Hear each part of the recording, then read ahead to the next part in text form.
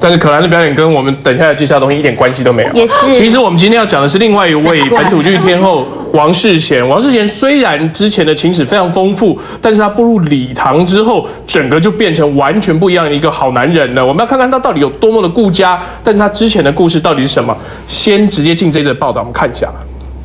时代不一样了，兄弟，好好搞。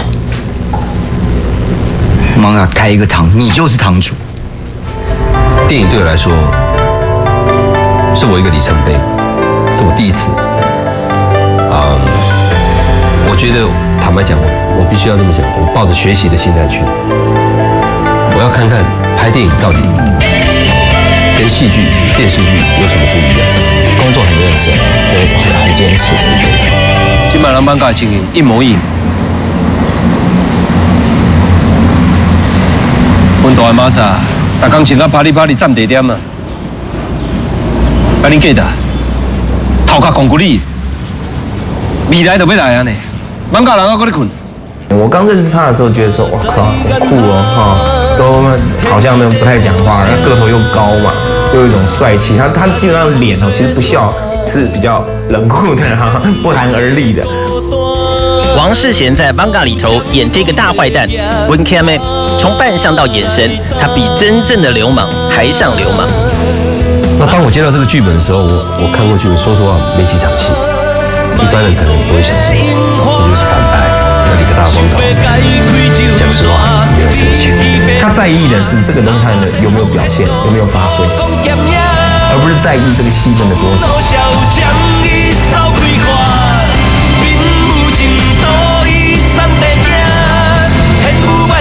然后我跟导演在聊天的过程里面，其实我脑海里就是开始在想，开始在乱。那其实豆导他头脑已经在想。其实我们在访谈的过程里面，我们在聊天的过程里面，其实我们就演起来。那导演看到我的眼神，看到我的感觉的时候，对对对，就是这个，我就是要这个，你就照这个这个感觉来演就对了。哦，那我就抓到了方向了，我就很安心了。我隔天就去理光头了。常常我们碰到面的时候，他要不然就没睡，要不然就两个小时、一个小时。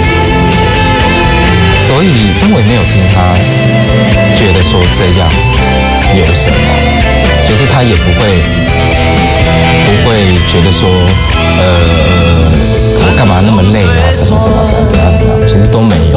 我觉得他很，呃，对他的每一份工作，其实他都很认真。Manga 是王世贤大荧幕的处女秀，虽然说戏份并不多，但文 k a 这个角色在 Manga 的剧情安排里是一个相当关键的角色。他的无情，他的凶狠，凸显出了友情跟义气之间的冲突以及反差。对王世贤来说，这个角色是一个新的挑战。为了演好文 k a 他跟导演说，他要剃光头。当不过咱两个拢无得好好困。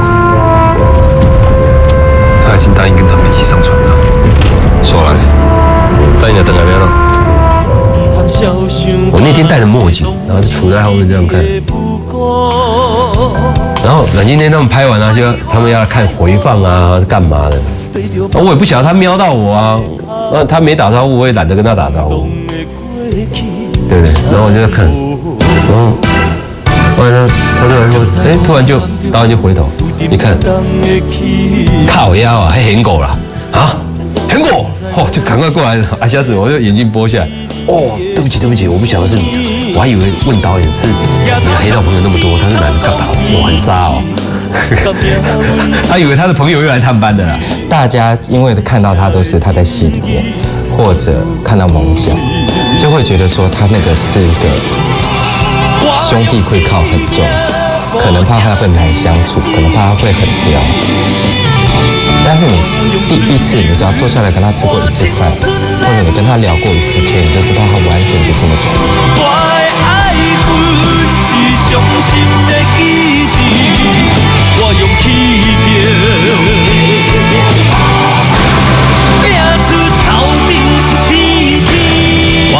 全是兄弟戏，诠释的相当传神，是他的演技太好了，还是真的曾经有混过呢？王世贤说是片场的氛围让他太入戏了，很自然的就把导演要的感觉给演出来。另外，他自己的生命记忆，当然在他揣摩角色、进入角色的时候，也有很大的帮助。他从小的环境就是在一个比较这个一般我们这个在地文化的哦，那接触到的都其实比较是我觉得比较底层文化的啊、像他们周围的附近啊，说这边就就是一个这个剧毒的场所啊，联络感情的地方啊，或者这边就是一群啊各式各样的那时候很多这种比较真的比较偏向这个黑色部分的哦环境。那这个跟他，所以跟他的个性，我觉得多少有点影响。我用气拼，拼出头顶一片天。看多了，然后就有很多模仿的对象。其实我内心很温柔，其实我很勾引的，其实真的。就好像豆打他问我说：“师姐，你真的混过吗？”我说：“没有啊，我很没有胆的、长大，我从小到现在，我没有没有跟人家打过一次架。王世贤来自一个单亲家庭，从小家境优渥，不愁吃穿，每天跟着开茶艺馆的阿公身边帮忙端茶水，在龙蛇杂处的地方，耳濡目染，他看尽了多少江湖事。王世贤他从小就知道兄弟之间的义气是怎么一回事。他对于那种那种那种亚利亚会靠，他太了解了。在他身边周边，他就在这些人的环境下长大，嗯，所以他的成长环境其实蛮蛮特别的。说实话，那他讲义气这个部分，可能跟某一些兄弟会比较接近，其他的部分都没有。他是一个脾气很好的人，他是一个就是就是爱开玩笑啦。其实我们大家在一起相处都是这样嘻嘻哈哈，所以整个工作的气氛都很开心。年王世贤是参加歌唱比赛脱颖而出的，曾经在滚石唱片发过国语合集，后来透过一个制作人建议改走台语路线。王世贤每天下课就跑去练场学技巧，后来接到了兵单去当兵，歌唱事业因此停摆。退伍之后，妈妈经商失败，家中负债累累，他决定要当歌手来赚钱还债。当时发行的第一张台语专辑呢，主打歌就是《香囊金桃》。双人枕头若无你，也会孤单。就是家里经济的问题变化蛮大。那时候就两兄弟都在想，有什么行业在最短的时间里面可以赚很多钱的那种？我还在想，哎呦，你不是会唱歌，那我们想再再去做歌星啊。听说作秀蛮好赚的。那时候我想，对我来讲啊，这方面应该是比较是一条近路。我很少听到他抱怨，他会说啊，我现在就这样啊，我靠，不要给你，我留盖点啊，我留盖点。他常常会有一个人说啊，反正做梦不要花钱，我们就就就勇敢的去梦想，然后努力去实践。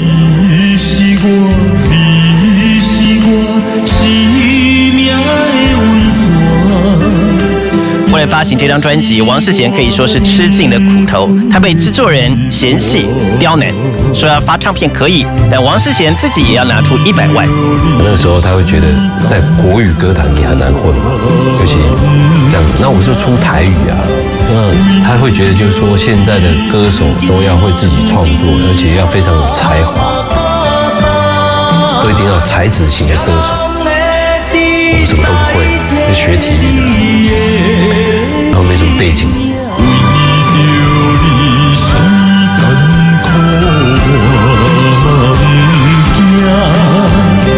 那时候我哥就比较，他比较实一点，他说：“啊，头可以啊，可以给你讲啊，我做几年秀不要我这嘛。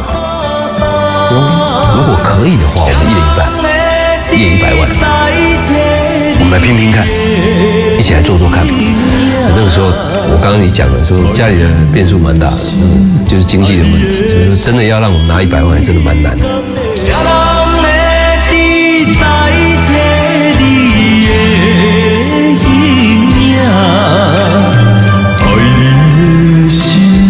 爱你的心，你敢会知影？那时候我妈就七斤八斤，她外面负债蛮多的，都已经卖掉，然后身上就剩七十万。那时候七十万，然后还还差三十万，王世贤后来找了三个当兵认识的朋友，一个人拿出十万块，最后终于凑足了一百万。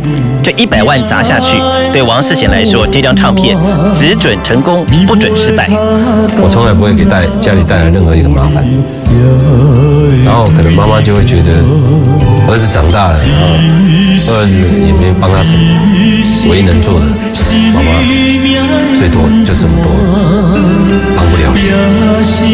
哦，再多我也没有了。所以说我刚刚就讲，为什么我压力会那么大？那他觉得这歌，他他觉得说嗯这可以，我可以唱得很好，他可以把它诠释得很好，他就就唱了，也也没有想到，就是说这不能叫无心插柳，而是说他能够乐于接受他所处的环境，并且努力，这是比较难得。香囊金桃后来因为搭配了连续剧的主题曲，销售成绩还算不错。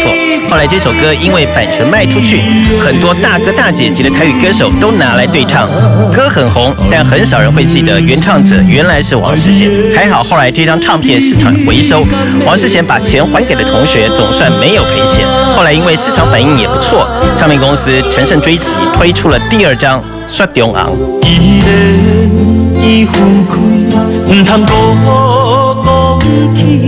我头只有加添心稀。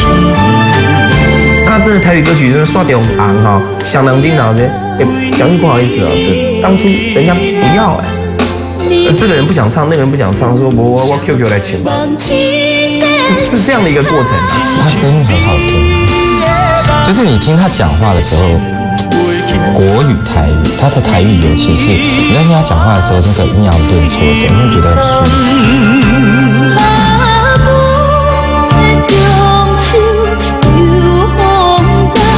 只有玫瑰花中红。像《金桃》《刷中王》这两首歌都红，但却没捧红王世贤他的知名度。因为王世贤当年待的唱片公司规模小，要上电视做宣传很困难。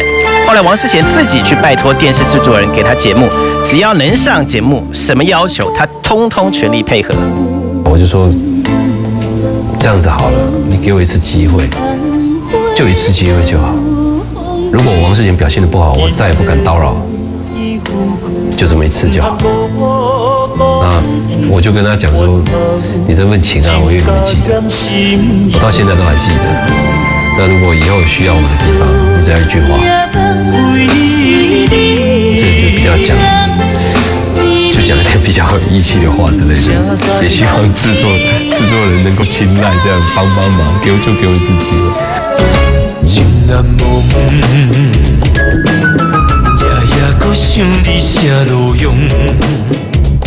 那我就第一次去表演 open 的时候，那，我就表演得非常精彩，我在卖药，我就表演卖药的一个街头的一个艺人卖药。来来来来来，三色人讲五色话，厝边头尾你就抢得上势。阿贤今日来个贵宝地，不是拍滚没够药，就是要卖这棍。龙兄什么海狗丸什么，反正就是这样搞笑。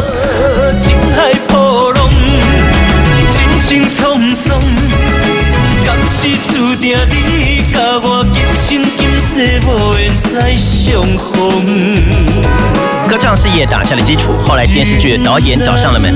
王世贤他的演艺版图不断的扩张。第十六届的金曲奖，王世贤他勇夺台语歌曲的最佳男演唱奖。得奖的是王世贤。